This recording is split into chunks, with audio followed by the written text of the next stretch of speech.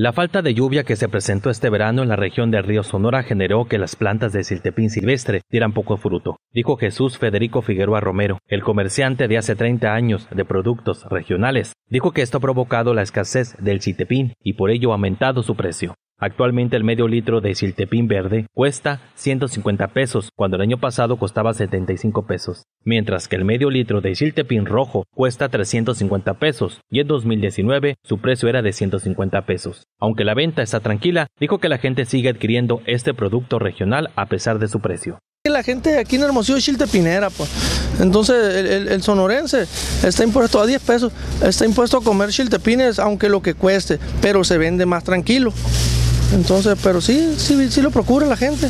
Agregó que el chitepín que comercializa es procedente de Mazocawi y de Babiácora. Alan Rubio, Mega Noticias.